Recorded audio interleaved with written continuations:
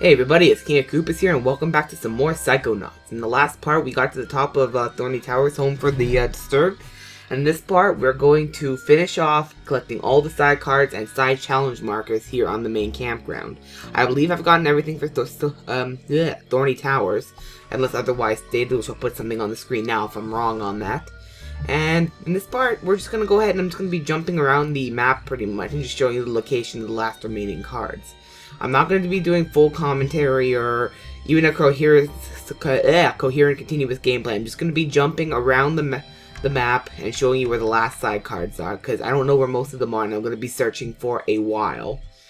But with that being said, sit back and I guess enjoy. I'll meet you guys whenever we're done collecting.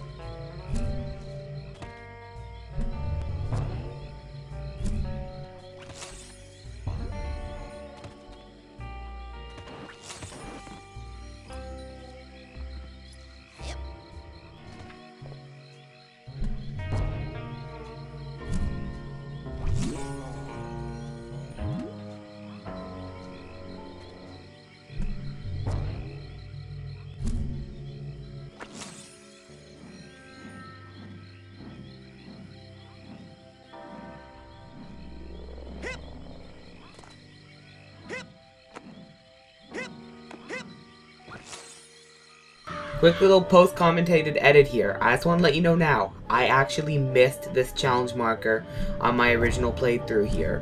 I didn't notice it until after I gotten 100% in every other aspect. So, with that being said, the final battle is going to kick off with me being at level 99. However, I'm still going to show you what happens with for the 100% reward. Let the faces of the damned be forever imprinted in your soul. Uh, anyway, we are back here at the top of the tower. Tower. The tower. I, I have made sure, I have triple checked to make sure I got all the PSI cards, challenge markers. I've bought everything from the store that I can. In fact, if you look here, I um brought I brought bought three Dream Fluffs just in case, because you know getting 100% can be stressful sometimes. So without further ado, let's go ahead and get to the top here and let's help break Lili out. Now, as I'm warning again, if you have any business left that you haven't taken care of yet, whether that be an item from the shop, whether that be a PSI card that you may have missed on the campground or whatever, be sure to get it now, because once you free Lili, you are forever boned out of getting anything in the overworld. You'll still be able to visit the psychic worlds, but you won't be able to get anything else that's outside of the psychic worlds. Just a warning. With that being said, let's do it.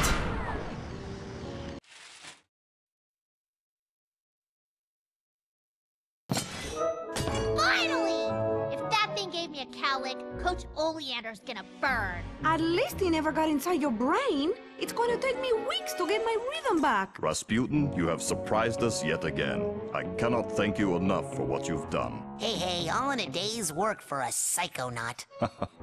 well, Psi Cadet, you mean. Hey, the psychonauts should be so lucky to get someone like Raz. The brain he's got in there is one in a million. Thanks to all of you for bringing it straight to my door. Oleander. You! You took all my friend's brains. You turned an innocent fish into a giant monster. You stole all the teachers, derailing my education.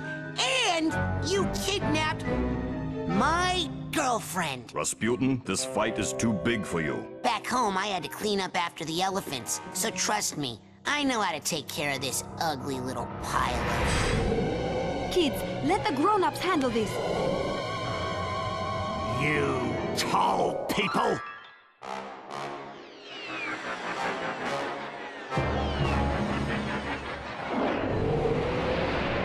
Sasha! We get to kill him too! Ah! Well, it's official. The genius is back. Time to go get ready for my Garrity show.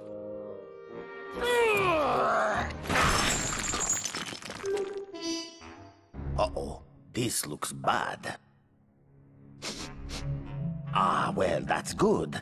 Someone must have turned off the gas long ago. Oh, here's what my poor flowers need. A little water. Oh no, I spilled all my turpentine and acetone.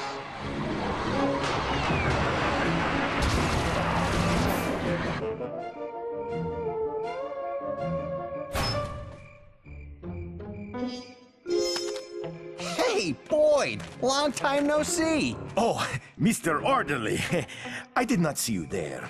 I was just taking a little therapeutic walk in the moonlight. Relax, the asylum's closed. We can all go home. Leave? Here? Yeah, this place is for crazy people.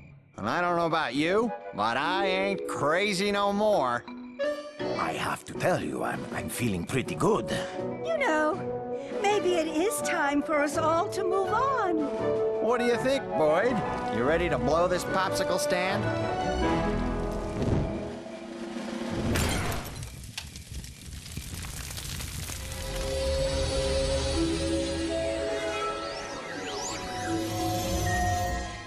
The milkman has completed his route. You guys want to split a cab?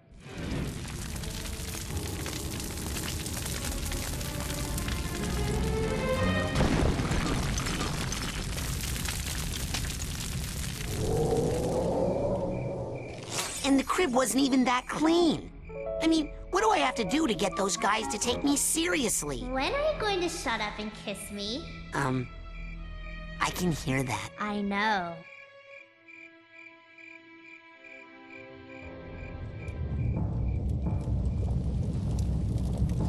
Surrender! Never!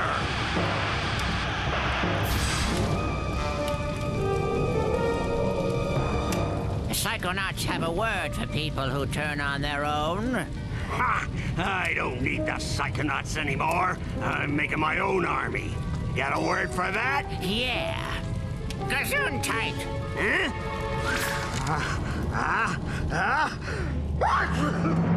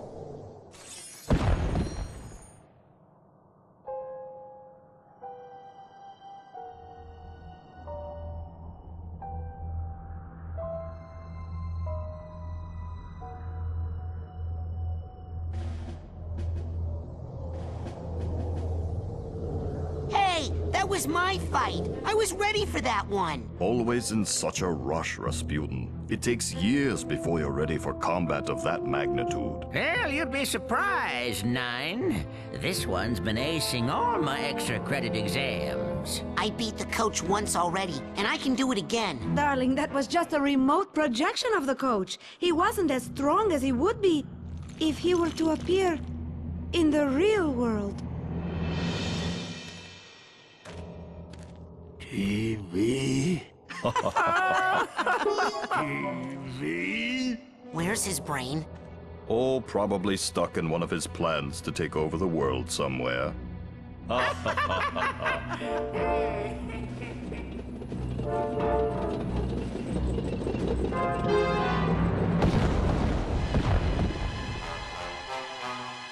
Hey, how's the weather down there?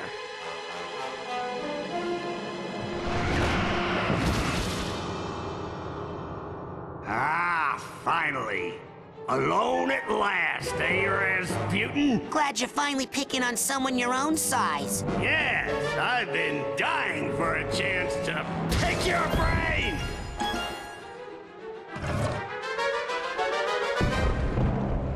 Two can play that game. Yeah, but only one can win!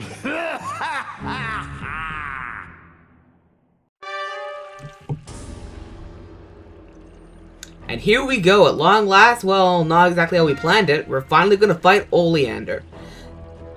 As you see here, Oleander is going to create a giant shield made out of the debris of the uh, asylum here. What you're going to want to do is, the only spells or um, abilities you're going to need here is your Pyrokinesis, which I already have equipped, your shield, which you're going to want to bind to an easy to reach button, and and your um and your telekinesis. Now, starting up the fight here, what you're going to want to do here is First of all, wait for him to throw a block here. He's going to throw it, simply shield from it. And what you're going to want to do here is pick up these little blocks and start blasting a hole in his defenses. And keep doing this repeatedly. Don't stand on where they spawn because they actually can hurt you. And I'll just shield any of his attacks. It's just easier to do it that way. Once you get a free shot, walk up and, and burn a part of his uh, wooden, the wooden part of his shield. Okay, come on. Come on. And now what you're going to want to do here is just throw a block up on top of the side tank. Repeat that three times and you have beaten the boss. Not a very hard boss, not, not very much variation. To be honest, I'm kind of disappointed in this boss. This boss could have been so much more. I mean, considering it's freaking Oleander. But, you know, make a do with what you get. Just keep blasting holes in his defenses and then light it up. I don't believe the floating pieces can actually hurt you, but even so. Now what we're Alright, let's see if we can go back over here. Let's see if we can get a nice good view of that tank. Come on, respawn. Okay, guess not. Go over here. Shield. Actually, I don't think I shielded that right, but either way. That's block two. Only one more block. I'm trying to think of like a block-related pun here. Like, the, the only thing that's coming to my mind right now is Legos, and this isn't Lego. This is, um, what's that one game? I can't figure out. It's like a free, it's not free to play, but I don't know. I don't know. Will you just... Ugh, stupid game. It's not grabbing. Like, got a light. Uh, I had to... I don't know why I love that joke so much, the you got a light joke. It's so stupid. And... There we go. Relatively easy boss. All we gotta do now is get up there and disarm the tank once and for all.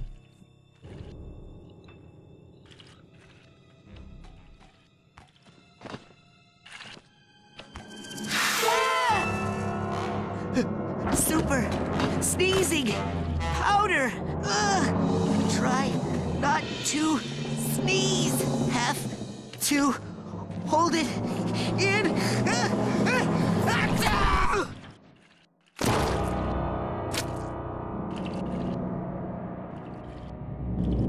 TV. TV. Oh, this is just great.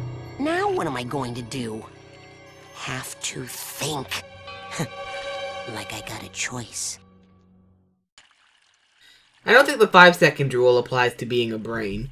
But anyway, as you can see now, it's never as easy as you think it is. We are now but our brain. However, we can still throw ourselves, and we can shield ourselves. that's pretty much all we can do. So, we only have one option. We're gonna have to throw ourselves into the minds of Coach Oleander, and just take the chance for whatever may happen.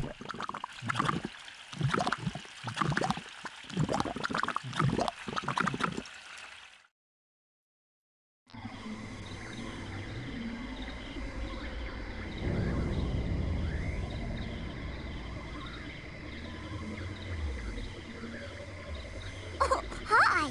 My name's Marcel Oleander. But you can call me Maury or Oli. Coach Oleander? What are you doing in my mind? How did you get in my happy meadow? Nobody's supposed to know about it. You didn't tell my dad about it, did you? Oh, that's him! Oh no! Come on, little bunny! We'll be safe in here!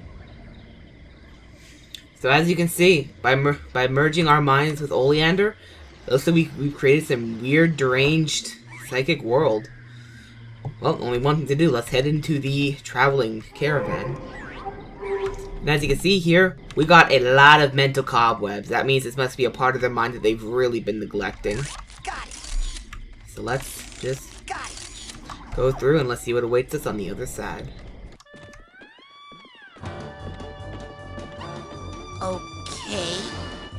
The circus I remember from my childhood was definitely not made of meat. The last time I checked. No! No! Little buddy, don't go in there! That's a bad place! That's a bad place for buddies! Guys, welcome to the last level of the game, Meat Circus. Now, I'm gonna have to kind of quote someone here. A guy by the name of Lord Cat. This is this is what he said on his um, Until We Win of Silver Surfer. Now, up until this point in the game, the difficulty has been following pretty much a steady logarithmic curve. Unfortunately, we've seemed to have lost the curve and found ourselves on a completely different piece of graph paper. Yeah, that's pretty much how this is. The game is easy up until this point. Like, I'm serious. This is going to be probably the only level in the game where you're legit going to have a lot of trouble beating just because of how hard and freakishly annoying it can get. But with that being said, I think we're going to do that in the next part. So uh, I guess then we're just going to go ahead and do that. We're going to get started on Meat Circus and hopefully see if we can get to the end of this deranged world. I thank you all for watching, and I'll see you in the next part.